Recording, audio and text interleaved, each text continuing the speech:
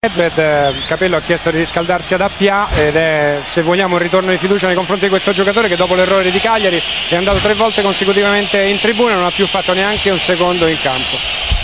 Sta per entrare, rientrare in campo Nedved, intanto però il calcio d'angolo è battuto, palo clamoroso, chiedono il gol i giocatori della Juventus.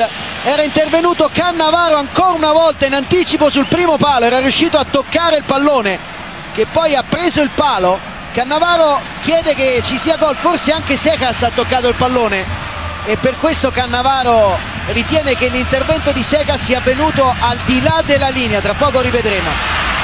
Fantini dentro per Pazzini, prova a liberarsi Pazzini con il destro, Giampaolo! Pazzini! 1-0, c'è da rivedere tutto. Ma che gran gol che ha fatto, bellissimo, gli hanno dato lo spazio, per stoppare questa palla, rientrare e metterla sul secondo palo all'incrocio, ha calciato benissimo, nulla da fare per Buffon. Sull'altra invece, sull'altra azione, secondo me Cecas ha parato, poi bisogna vedere se è dentro o fuori.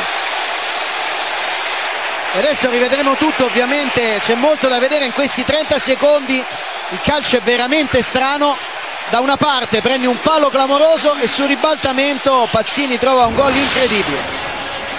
Allora, cominciamo da gol di Pazzini.